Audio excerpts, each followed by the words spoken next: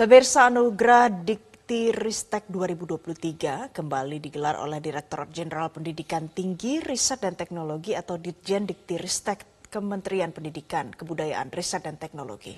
Gelaran ini merupakan bentuk apresiasi kepada semua pihak yang telah mendukung program dan kebijakan Ditjen Dikti Ristek. Direktorat Jenderal Pendidikan Tinggi, Riset dan Teknologi atau Ditjen Diktiristek Kementerian Pendidikan, Kebudayaan, Riset dan Teknologi kembali menyelenggarakan Anugerah Diktiristek 2023. Ajang tahunan ini merupakan bentuk apresiasi kepada pemangku kepentingan pendidikan tinggi, riset, dan teknologi yang telah mendukung program dan kebijakan Ditjen Diktiristek untuk mewujudkan transformasi pendidikan tinggi.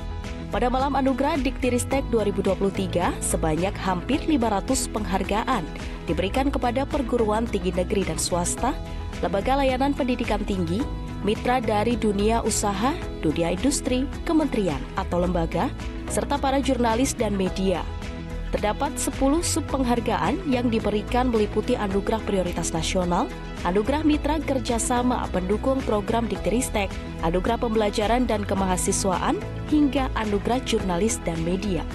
Pelaksana tugas Direktur Jenderal Pendidikan Tinggi, Ristek dan Teknologi Nizam mengungkapkan, transformasi pendidikan tinggi selama empat tahun ini telah berlangsung dengan akseleratif dan mulai bisa dirasakan hasilnya. Menurut Global Innovation Index 2023, indikator untuk kolaborasi antara kampus dan industri dalam riset dan pengembangan mengalami kenaikan menjadi peringkat kelima dunia. Selain itu, berdasarkan laporan INSEAD, selama lima tahun terakhir, Indonesia mengalami peningkatan daya saing talenta tertinggi di Asia dan kedua di dunia. Ini adalah satu bentuk penghargaan kita, apresiasi kita atas keberhasilan dari seluruh perguruan tinggi dan mitra-mitranya. Jadi semangat yang kita bangun adalah semangat gotong royong, keberhasilan kita adalah keberhasilan semua, satu untuk semua, semua untuk satu, dan untuk itulah kita memberikan apresiasi pada seluruh pemangku kepentingan dan perguruan tinggi kita dalam uh, kerja keras yang telah dilakukan dan prestasi yang telah dicapai selama tahun 2023 harapan saya di tahun 2024 akan semakin banyak lagi prestasi yang dihasilkan oleh perguruan tinggi kita sebagai tulang punggung inovasi dan penyiapan talenta masa depan untuk Indonesia yang semakin baik lagi.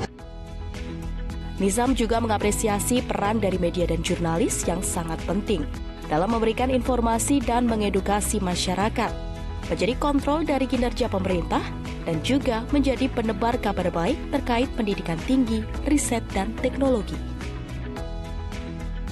Jelajahi cara baru mendapatkan informasi. Download Metro TV Extend sekarang.